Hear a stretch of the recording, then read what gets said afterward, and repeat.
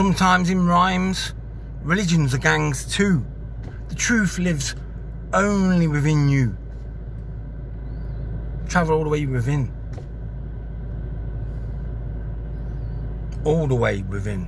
Give up everything in this world food, water, everything. Purify yourself through prayer in your mind. Purify every thought you've ever had, every lust you've ever had, every greed, every egotistical thing you've ever had. Purify all through non stop prayer. No food, no matter put inside of you. Pure spirit all the way home to heaven. Eternal love light fusion. Perfect pure reality. Make it all the way home. Then you'll know what you're talking about. Then you'll know who to support and who not to support. And trust me, if you're not supporting Jesus, well, he's the gatekeeper. Your heart's got to be with him when you take that journey with him. And when you do, make it all the way. Make it all the way with Jesus. And I'm not religious. I'm not. I don't go to church. Don't all that and everything. Mosques and churches are full of preachers and imams, all about the numbers and the money and the materials they can get. It's a safety in numbers thing. But when you're with the truth, you'll stand alone. You won't care. You'll have no fear. No fear of terrorists. No fear of bullies, which are terrorists as well. The form of terrorism is bullyism, being a bully. None of that. Because you stand with the truth. You know, God's got your back. God's got my back, I know that. Kill me, but I can't kill the truth. That's that. And when the truth is set free, it's like a lion. A lion. Rawr. It takes care of itself. That's what the truth is. Once it's set free, it takes care of itself. That's the truth. And Jesus is the truth. And like I say, I don't go to church. Like I said, I just told you. I don't need to go to church. My church is in here, my heart, my mind, which is with Jesus. 75, 8% of the time. Over 20% of the time, I'm a physical being. God don't force anybody to follow him and worship him. You can't follow somebody who terrorizes you. You can't love that person with your heart. Or that being, whatever, with your heart. God won't force anybody to, to follow him through terrorization, beheadings, suicide bombing, like the Muslims and everything. That's not God. God is pure life essence, eternal.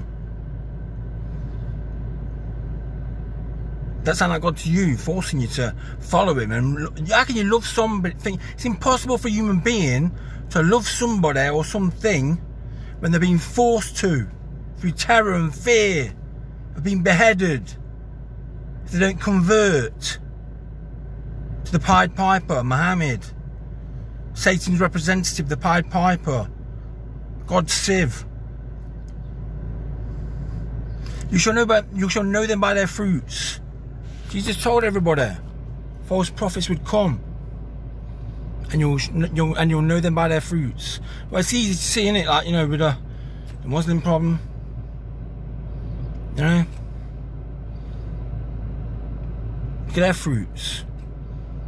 Does that represent God to you? It sure as heaven and hell don't to me. God don't force anybody into loving him.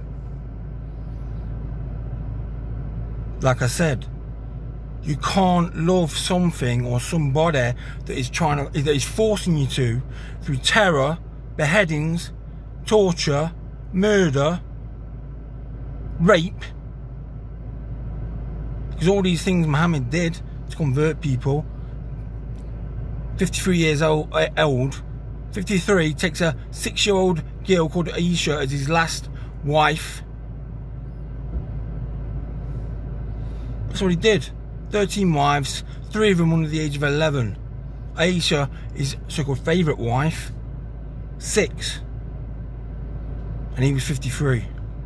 And also, on top of that 13 wives, he had 30, over 30, concubines, concubines, sex slaves.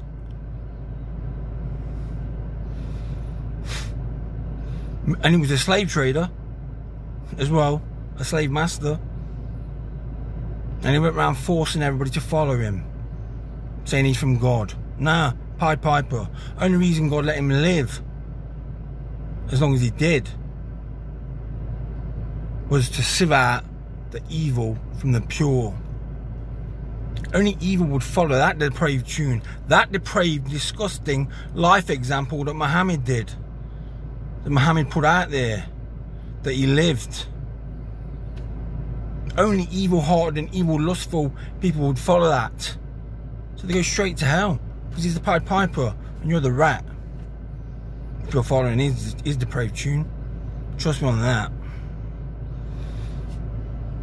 Team Jesus, all the way. You don't need to go to church to do it.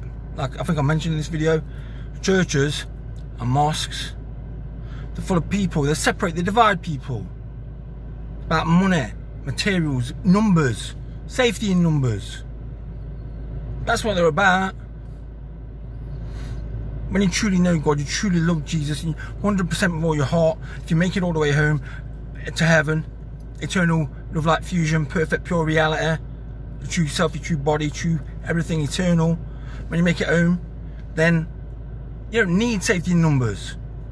You'll speak the truth without fear.